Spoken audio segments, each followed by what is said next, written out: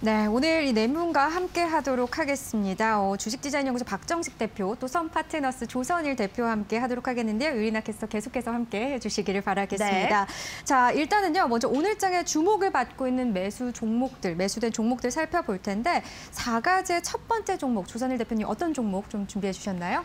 네, 오늘 관심이 있는 종목, 특징 주는 알파홀딩스를 가지고 나왔습니다. 음. 알파홀딩스는 오늘 보니까 뭐 두산이 뭐 테스나 인수했다고 그래갖고 뭐 반도체 관련 관련해서 이슈가 많은데 알파홀딩스는 반도체 관련 회사인데요.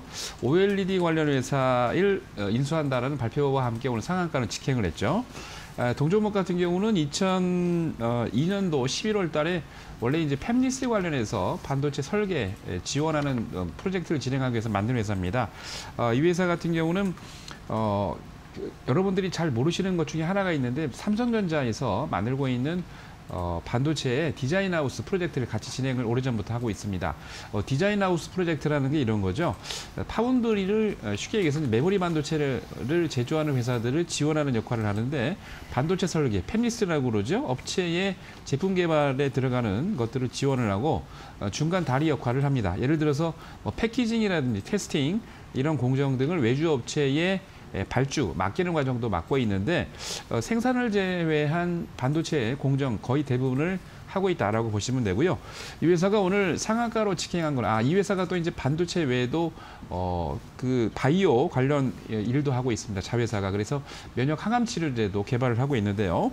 이 회사가 오늘 상한가를 직행한 이유가 한송 네오텍이라는 회사를 인수하겠다는 발표와 함께 예, 상한가로 직행했습니다. 이 회사 같은 경우는 OLED 2차 전지 OLED 관련 회사인데요. 어, OLED 제품 가, 과정에서도 핵심 공정인 유기물 예, 증착 공정 관련해서 어, fine metal mask 연관 장비와 그리고 검사 장비를 주력으로 만드는 회사입니다. 어, 발표 내용을 보니까 주식에 1,470만 주를 인수하겠다는 내용이 있었는데요. 어, 이미 예, 상장돼 있는 구주 어, 사, 7, 773만 주를 4,380원에 그리고 유상증자를 통해서 신주를 어, 697만 주를 1,290원에 인수한다고 그랬는데 이 두 개를 합친 거를 어, 가중 평균이라고 그러죠. 그래서 금액을 보니까 2,914원 한 19전 되는 것 같습니다. 어, 주식 양도를 통해서 이제 5월 30일까지 에, 나머지 697만 주 같은 경우는 어, 3차 배정으로 취득을 하는데 어, 가지고 계신 분들 또는 관심 있게 한번 어, 관심 종목으로 넣고 한번 관심 있게 지켜보는 것도 괜찮을 것 같습니다. 알파홀딩스에 대해서 좀 긍정적인 의견들을 주셨습니다. 잘 참고해 주시기 바라겠고요. 이어서 박정식 대표님의 의견도 들어보겠습니다. 네, 오늘은 저는 한국 석유를 바라볼 건데요.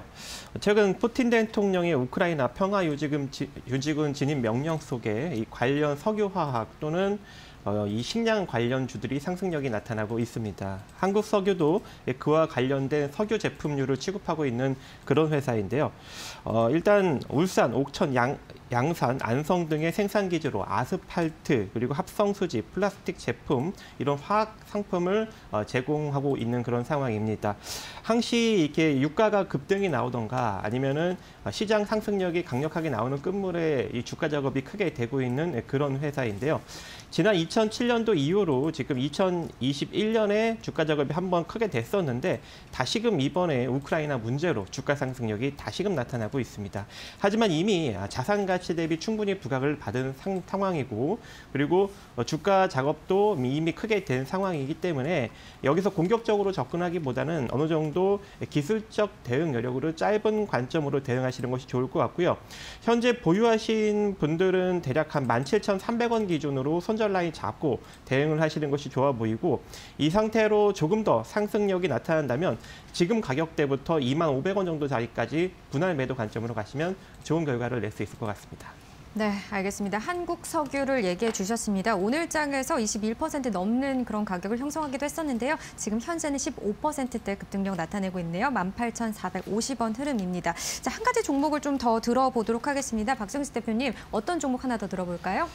네, 테스나인데요. 어제 좀 긍정적인 소식이 들렸죠. 두산그룹이 에이스 에커티 파트너스와 이달 중 경영권 인수 계약을 체결할 것이다 라고 어, 발표를 하였습니다. 그래서 오늘 시초에는 조금 떠서 시작했으나 이제 오후장 들어서 시장이 좀 밀리면서 다시금 어, 전일 전영 어, 종가 수준으로 좀 보합권으로 밀린 그런 상황인데요.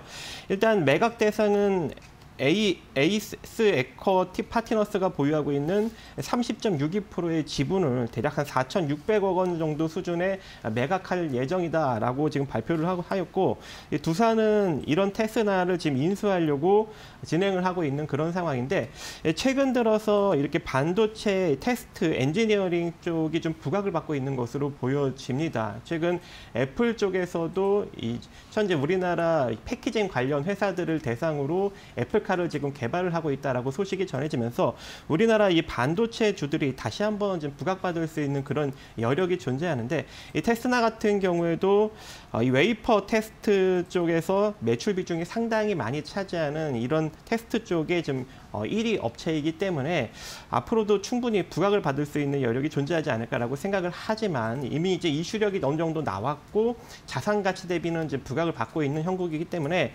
마찬가지로 현 구간에서도 우리가 좀 기술적으로 접근을 해야 되는 그런 상황이다라고 보여집니다. 그래서 여기 지금 현재는 이평선이 지금 수렴형 구간이기 때문에 20선을 기준으로 여러분들이 대응하시면 좋을 것 같은데요. 오늘 종가 기준으로 20선 밑으로 밀렸기 때문에 일단은 관망을 하지만 뭐 내일 시초나 추후에 20선 위로 다시금 주가가 올라타는 흐름이 나올 경우에는 20선 근처에서 단기적인 관점으로 매수 포지션 잡아보는 것도 나쁘지 않을 것 같습니다. 네, 알겠습니다. 테스나 까지 알아봤습니다. 세 가지 종목 잘 참고하셔서 전략 세우시길 바라겠습니다.